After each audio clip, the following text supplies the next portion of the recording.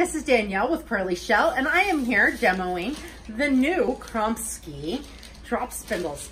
And right now I have it put together and set up as a bottom whorl drop spindle, which is really cool to be able to do both with one spindle because then you can really get a feel for what you like.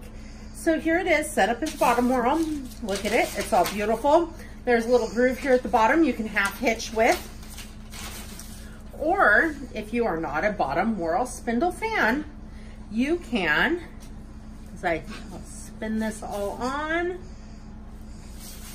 you can, It has a nice groove in the, in the whorl and a hook. So you can also make it a top whorl.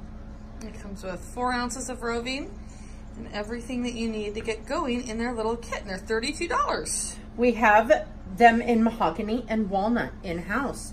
So place your order today so we can get you spinning.